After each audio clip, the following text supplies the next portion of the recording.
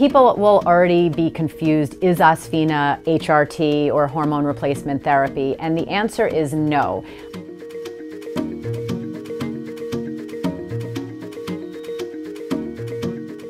Osphena would not be given to a woman who's experiencing hot flashes to replace her estrogen systemically or throughout her body. And in reality, Osphena can actually cause hot flashes in uh, over 7% of women. So it's not exactly HRT, but it works like estrogen in certain parts of the body. It's a conversation that women will need to have with their healthcare provider because this type of drug is absolutely not for every woman. For over 10 years, um, women and their gynecologists have been very wary of HRT or uh, hormone replacement therapy because of the conclusively shown increased risk of breast cancer deaths amongst women taking combination estrogen and progestin therapy uh, when they're peri or postmenopausal.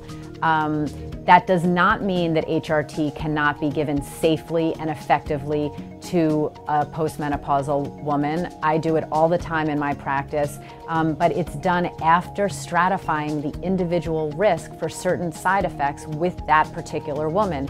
So in a woman who's at very high risk for clotting events, heart disease, stroke, or breast cancer, uh, combination HRT would probably not be worth the benefits because of the high risks. But in a younger woman who's at lower risk for breast cancer, heart disease, clotting events, a short dose a, for a limited period of time of combination HRT may be something that would have a relatively low risk and a high benefit. So this is a conversation that is not a five minute combo. This is a long, involved discussion that a woman needs to have with her healthcare provider and determine what is best for her. It's not a one size fits all approach.